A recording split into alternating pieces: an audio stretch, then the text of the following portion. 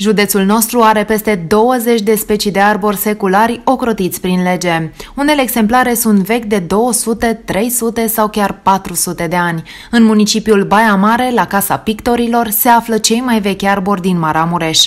Este vorba de două exemplare de stejar cu o vechime situată între 350 și 400 de ani. Alte specii de acest fel mai întâlnim în oraș, în zona pieții cetății sau în parcul municipal. Arbori seculare avem și în localitățile Baia Sprie, Coltău, Gârdani, Ardusat, Băsești sau Șoncuta Mare. De asemenea, la nivelul Maramureșului există și 14 arbori ocrotiți prin lege. Cele mai valoroase exemplare, atât ca aspect cât și ca stare de vegetație, se întâlnesc în localitățile Mireșu Mare și Coruia și este vorba de doi stejari impresionanți. Alte exemple de copaci ocrotiți sunt plantanul american din Seini sau satul lung, arborele de la Lele din Șoncuta Mare sau castanul cu flori roșii tot din Seini. Județul nostru are și specii de arbori exotici sau unicat, iar două dintre ele sunt situate chiar în parcul Regina Maria din Baia Mare. Astfel, aici putem admira un exemplar de țugă, o specie de conifere și unul de maclură, un arbore foios mic. Specii exotice avem și în Șoncuta Mare sau în Tisa, unde există exemplare de nuc negru.